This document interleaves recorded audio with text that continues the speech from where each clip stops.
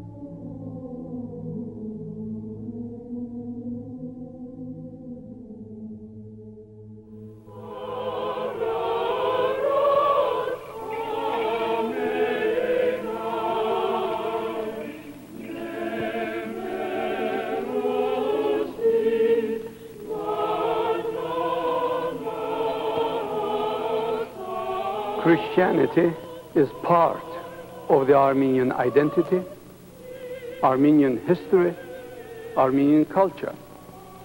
We fought for the freedom to live according to our own faith. We suffered martyrdom in preference to surrendering this faith. The Armenians and their church nourished each other until uh, they have virtually become one. Still, and this is very curious, it seems somehow to be easier to fight for our faith uh, than to live by it. And that is what Christian education is intended to do, to teach us how to live by our faith.